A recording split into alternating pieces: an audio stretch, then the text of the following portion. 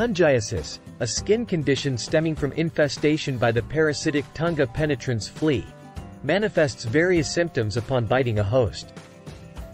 Typically found in sandy beaches, rainforests, or near stables, these fleas primarily target the feet of humans and warm-blooded animals due to their proximity to the ground. Bites are concentrated on the lower extremities, including the spaces between toes, often going unnoticed during the initial encounter.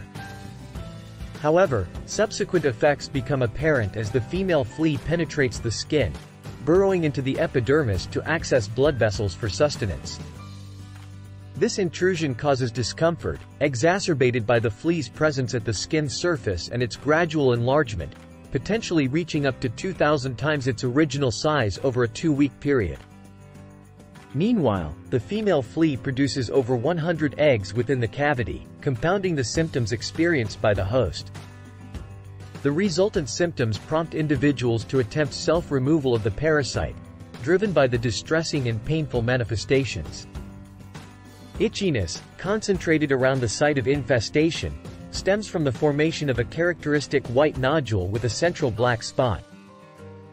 Pain becomes pronounced, altering gait as affected individuals find placing weight on their feet unbearable.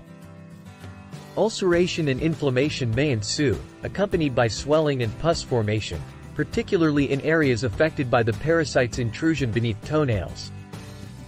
In severe cases, loss of toenails and deformation of toes may occur, prompting extreme measures such as contemplating toe amputation to alleviate the persistent agony and discomfort. Moreover, complications can arise from secondary infections introduced by bacteria and viruses carried by the fleas. Tetanus poses a grave threat, characterized by muscle spasms, lockjaw, fever, and rapid heartbeat. Gangrene, a severe consequence, may necessitate amputation due to extensive tissue damage. Tissue necrosis, akin to mummification, and clostridial infections, often contracted from soil, further exacerbate the condition, manifesting as gastrointestinal illnesses due to open sores exposed to bacteria. Diagnosing tungiasis typically involves identifying expelled eggs or feces from the flea, visible around affected areas, through massage to stimulate their release. Biopsies of lesions aid in confirming parasite presence, discernible through ectoparasite or chitinous fragments.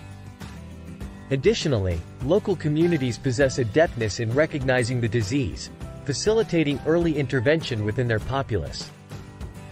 Thus, while tungiasis presents multifaceted symptoms and potential complications, timely detection and treatment remain pivotal in mitigating its impact on affected individuals and communities alike.